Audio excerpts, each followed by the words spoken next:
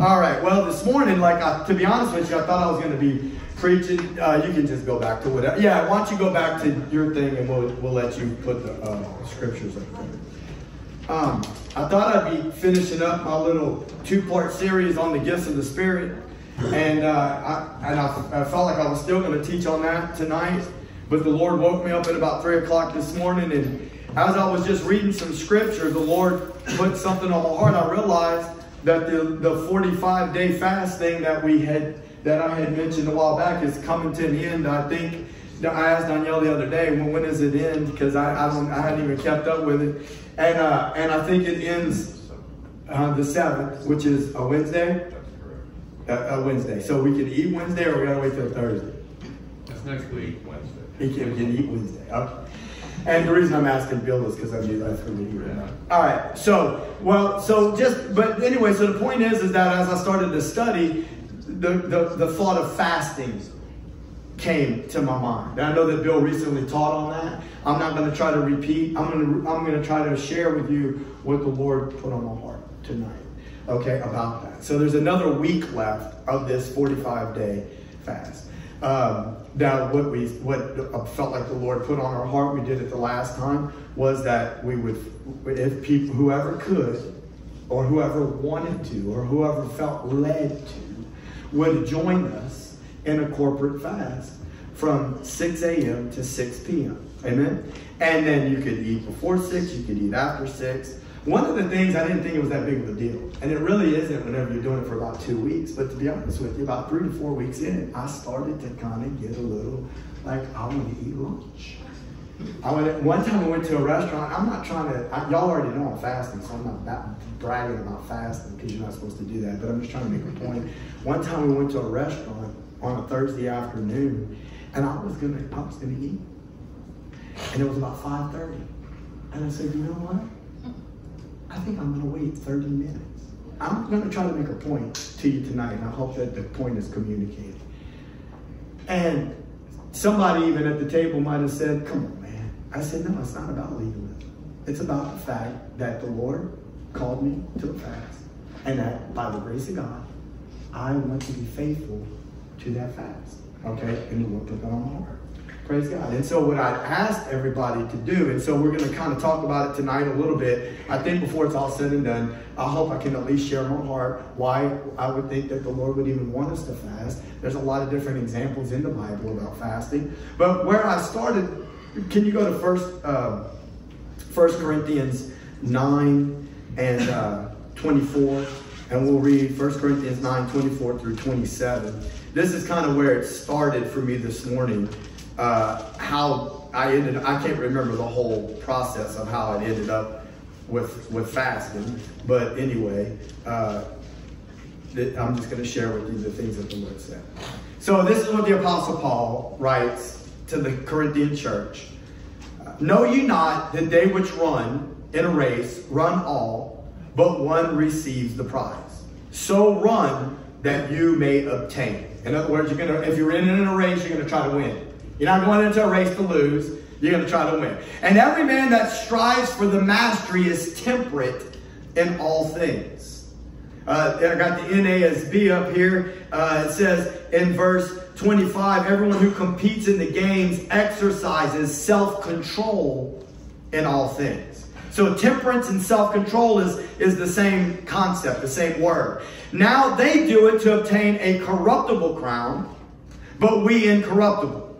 I therefore so run, not as uncertainly, so fight I. Now the word in the NASB uses the word box, like boxing. I think that that's actually more appropriate, and I'll share to you in a moment why I believe that to be the case. He says that, that we don't fight, uh, he says, I fight not as one that beats the air, but I keep my body under, I keep under my body. In the, in the NASB, it says, um, they, uh, therefore I run in such a way as not without aim. I box in such a way as not beating the air, but I discipline my body. Now listen, don't put words in my mouth before and don't turn me off because you think I'm pre preaching works.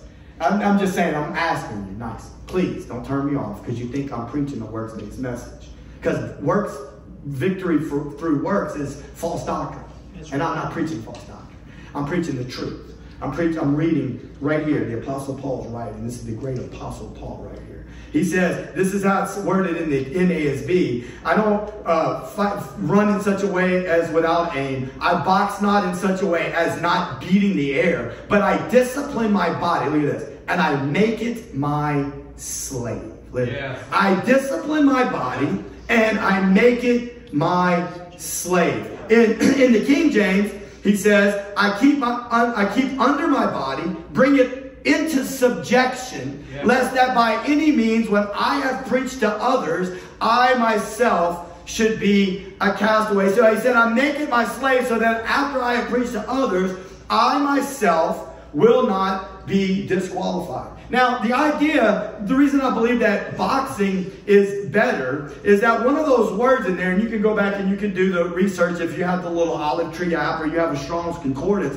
but one of them talks about being beaten black and blue. Now, we're not, and it actually talks about a jab specifically under the eye. In the Greek language, that's what the idea is. To jab up under the eye. So what, he, what he's using is a, a picture of a gladiator. Likely, you know, sometimes people will shadow box, but look, when once a gladiator got in the ring, all the all the practice is over, my friend. right. If you know anything about Roman history, once they got into into the Colosseum or wherever they were going, usually, uh, the best of my understanding, it was a fight to the death. Yeah. The Word of God says we wrestle not against flesh and blood, but against principalities and powers, against world rulers, against spiritual wickedness in heavenly places. So the idea is, is that whenever he's getting boxed and he's bringing his body under submission, the idea is talking about a jab that's turning you black and blue, and it's right there under the eye. I don't know a lot about fighting, but one thing that I do know is this: a jab is a powerful weapon. You know why? Because as soon as somebody thinks that they're coming in and you jab them and you keep stinging them, it makes them, you know what it does? It starts to wear the other person down. They don't like getting jabbed. They don't like getting stung in the face. It starts to wear them down. And it, you know what it does? It starts to mess with their head. It starts to mess with their head and it starts to mess with their endurance. And I'm here to tell you tonight, my friend, the battlefield of life, when it comes to walking for the Lord, when it comes to living for Jesus, endurance is extremely important Yeah. in the walk of God, in the war that we are in, in the spiritual warfare that you and I are engaged in. Mental tenacity. What does that mean? Mental toughness is extremely important in our walk eh, to, to live eh, in this life. Listen, we live in the midst of a society. I don't, I'm not trying to fuss about society, but I'm just going to call it. Everybody gets a trophy now. Everybody gets a trophy. Nobody ever gets bad grades.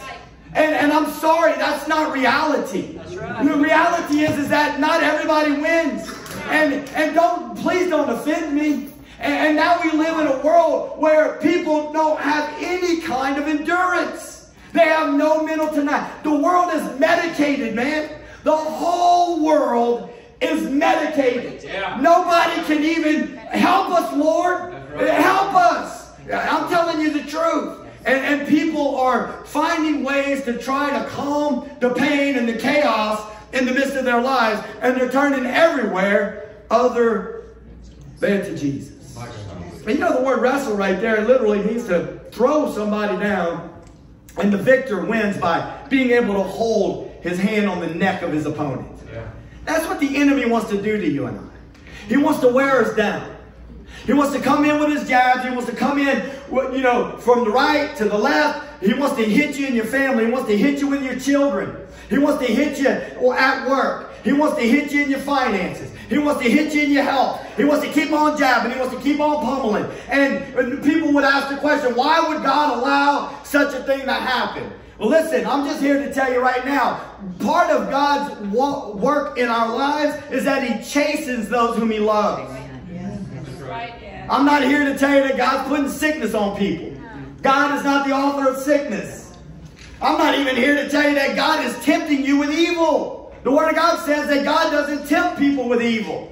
But that whenever we're tempted or tested, what happens is this. We start to find out that the thing that we're dealing with was already in us. That's right. The Word of God, and it's lust that's found in us. Lust, what does that mean? It means a desire for something you're not supposed to have or want. Doesn't always mean fornication. It means an evil desire, or it could be a good desire, but in this context, an evil desire for something, anything Yeah. that you're not supposed to want. Or for the child of God, for he that knows to do right, but he doesn't do it, for him it is sin. What about that? for he who knows to do right, but doesn't do it, for him it is sin. Jesus said, if you love me, keep my commandments. Right. Hallelujah. And so I just want to kind of share some of that with you that the enemy, he wants to start trying to break us down. Who is going to be the victor, Saint? I'll put that in my notes. Who is going to win the battle? Is it going to be them? Or is it going to be us? Who's going to win the battle in the end when it's all said and done? Amen. Hallelujah. We are. I'm talking about you, though, as individuals, right now, while you're in the midst of the battle. I don't want to try to encourage you. I want to let you know God's on your side. If God be for you, who can be against you? Hallelujah. He that is in you is greater than he that is in the world. The Holy Spirit is here to help you. He's here to give you the victory. But we got, this is the next word I put. One of the fruits of the Spirit is self-control. Yes. That's right. Hello. It's the Spirit's fruit, but it's the self cooperating with the Spirit. Is this not the case with all the Spirit's fruit? Does God not require the vessel of self to joint participate with the prompting of the Spirit? Does not God require self to joint participate Yep. with the Holy Spirit? If Jesus, listen, I don't want to get ahead of myself, but let, let me just keep going. In order for the harvest of fruit to become a reality in our life, on paper, it's already done. Yes. I guarantee you right now, if you'll sit here and flip through these pages, we can sit here and I can draw it on the board for you. Right? I can draw. Why don't we do it? Let's draw it on the board. We've drawn it for, for eight years. This is you, born in Adam, right? You're dead. You're, scol- you're scoliosis. You're crooked. That's what the Word of God says. A, wick, a perverse, a perverse generation. The word is crook, also translated as crooked. The word in the Greek is scolios, where we get scoliosis. You got, you was born in Adam, and you were born dead in sin Yep. crooked. Per- You're, you were born with a sinful nature. Okay, but good news, good news. Man, God got a good plan, my friend. Yes, he Oh, does. yeah. God has a beautiful plan. He listen, he done called Abraham out of Iraq and said, I'm gonna make a nation out of you. And through the nation that he made, he gave the world Jesus. And in Jesus, he's making the church, and you're part of the church, and the Holy Spirit lives in you. Hallelujah. Hallelujah. And, and, and so he gave us Jesus. And so now in the New Testament, this is his crown of thorns, right? Now in the New Testament, see, it takes faith. Faith in Jesus, the miracle worker, Yes. Jesus, the great teacher. The Savior. Yes. Hallelujah. Hallelujah. Jesus, the healer. Yeah, he healed your disease.